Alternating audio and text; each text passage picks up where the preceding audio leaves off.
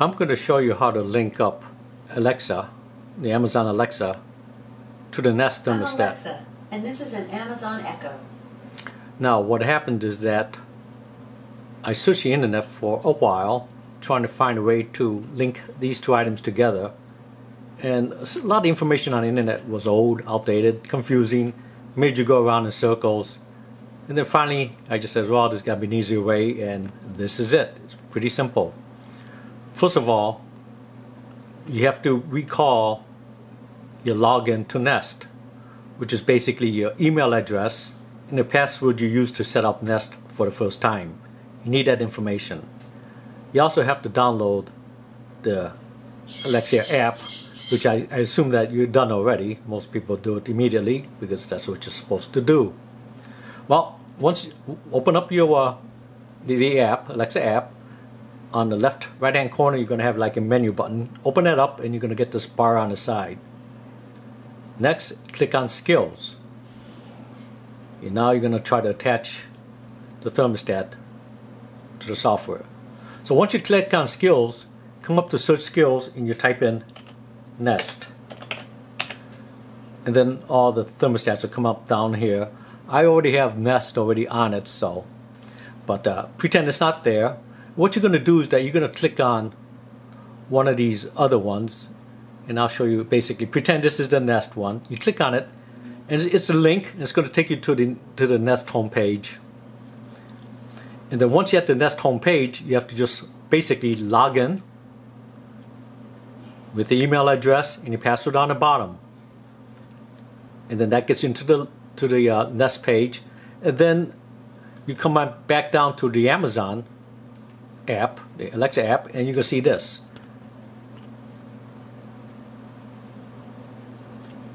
That's pretty simple.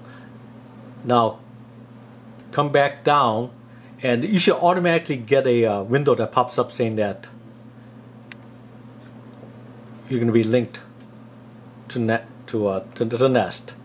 If not, you're going to come down to Smart Home, and you're going to click on Discover Devices. And then it takes about uh, 20 seconds or so for uh, for Alexa to uh, locate the uh, the device and then it's going to pop up. In this case, it won't be called, you know, it'll, it'll pop up, but now it's there, but it's not communicating yet. So you have to go to create group. In this case, my nest is named Den. So you check Den and then you enter the group name, of which I named it Nest. This group name is pretty important because when you speak to Alexa, you have to tell it this group name so it knows exactly what, what you want to do with it, whether to turn it on and off, you know, move things up and down. So th this group name is pretty important. Type in Nest, click Save. Now when you come back to your smart home, it should look, look just like this. You got your home skills, which is Nest, and then later on you're going to have probably lighting automation and, and you know, uh, some sort of sound system. And then up here is your group, and here we got Nest, which we named, and the device. That's it. You're pretty much all set to go. So now let's stroll over here to the,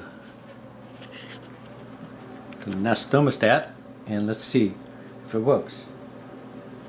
Alexa,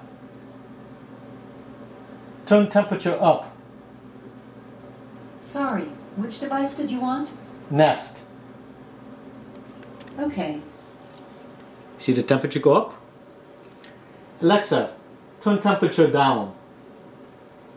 Sorry, which device did you want? Nest. Okay. It's pretty simple. Pretty simple.